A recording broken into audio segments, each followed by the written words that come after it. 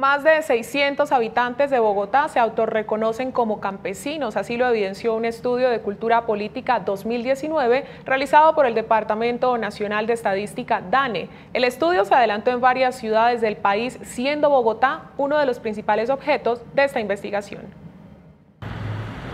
La encuesta arrojó resultados que para el DANE serán importantes en el futuro a la hora de tomar decisiones de política pública.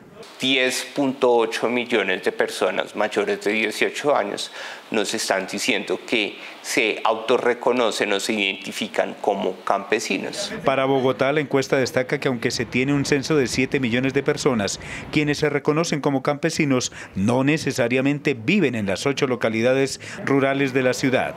En el caso de Bogotá, casi 600 mil personas mayores de 18 años se autoidentifican como campesinos en la ciudad, sin que necesariamente sea la Bogotá rural de Sumapaz. Además, la representatividad de la capital en esta encuesta quedó evidenciada en la necesidad futura de establecer políticas públicas en el sector rural. Es un fenómeno que no podemos olvidar y que también en la dinámica urbana de la ciudad, la inclusión y el respeto a la diversidad eh, de las políticas públicas que se den en Bogotá deben reconocer que en Bogotá también hay población campesina.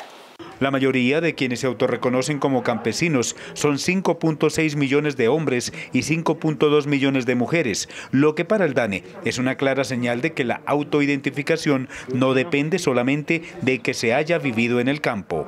También influyen los recuerdos de la familia o esas historias que muchos tienen como propias.